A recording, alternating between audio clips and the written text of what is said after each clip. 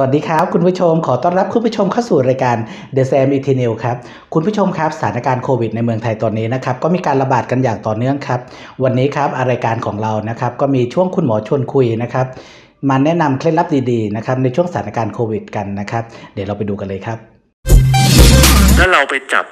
ต่อเนี่ยโอกาสสูงนะฮะที่เราจะรับเชื้อจากเขาดังนั้นตรงนี้เป็นจุดที่เราต้องระวังราวบันไดอย่างเงี้ยดังนั้นถ้าเป็นไปได้ถ้าเรา พอจะทำได้นะ ก็เช็ดทำความสะอาดพวกนี้บ่อยๆสำหรับผู้ป่วยที่อยู่ร่วมกับผู้อื่น โดยเฉพาะในครอบครัวที่มีคนจำนวนมาก มีผู้สูงอายุมีเด็กอะไรเงี้ยแล้วห้องเราไม่ได้มีเยอะมาก คือเป็นแชร์ลิฟ i ิ g งรูมอะก็คือห้องหนังหรือห้องนั่งเล่นห้องอาหารก็ต้องไปแบ่งรวมกัน ก็ใช้ร่วมกันได้นะครับ แต่ต้องเว้นระยะห่าง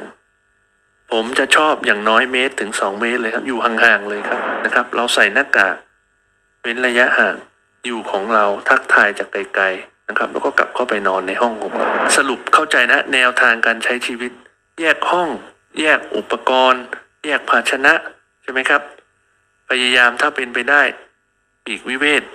เว้นระยะห่างใส่หน้ากากนะครับ คนที่ดูแลก็ต้องมีหน้าที่ในการป้องกันตนเอง ใส่หน้ากากใส่ถุงมือ เวลาจะไปสัมผัส สารคัดหลั่งของผู้ป่วย อันนี้แนวทางเบื้องต้นเคลียร์นะนำไปสู่ประเด็นที่สองก็คือ และข้อปฏิบัติของผู้ป่วยอะต้องทำ